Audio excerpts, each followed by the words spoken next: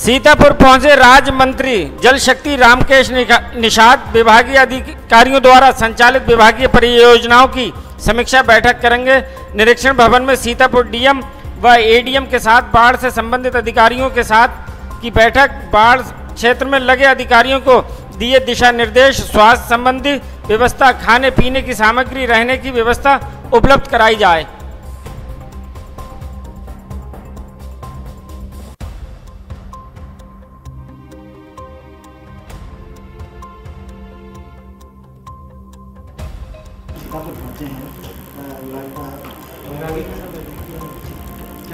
सभी अधिकारियों के साथ में आज बाढ़ के पूर्व जो तैयारियाँ थी उन पर चर्चा हुई है और जो भी बाढ़ के साथ में और बाढ़ के पूर्व में तैयारी करना चाहिए ज़्यादा स्वास्थ्य विभाग की हो या नौका संबंधी हो राहत शिविर हो ऐसे सभी स्थानों के लिए अधिकारियों को निर्देश दिए गए हैं और प्रत्येक क्षेत्र में कोई जनधन की हानि ना हो ऐसी पूर्व की तैयारी पूरी कर ली गई है। बाढ़ सब क्षेत्र बाढ़ ने जो है अपना अपनी आमद गाँव में भी दर्ज करा दी है।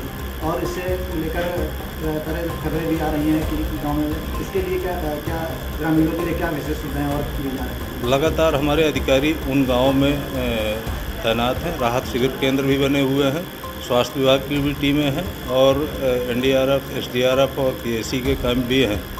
निश्चित रूप से जो सतर्कता के साथ में अपने ज़िले के अधिकारी और पूरा उत्तर प्रदेश का प्रशासन बाहर, बाढ़ के बचाव कार्यों में अपनी जो निगरानी रख रहा है, ऐसे ही सीतापुर ज़िले के सभी कर्मठ अधिकारी उस बाढ़ राहत केंद्रों में जाकर के, बाढ़ के शिविरों में जाकर के और जहाँ पर भी बाढ़ की संभावनाएँ हैं या नदी प्रवेश कर गई है, सतर्कता के साथ में राहत का कार्य कर रहे हैं।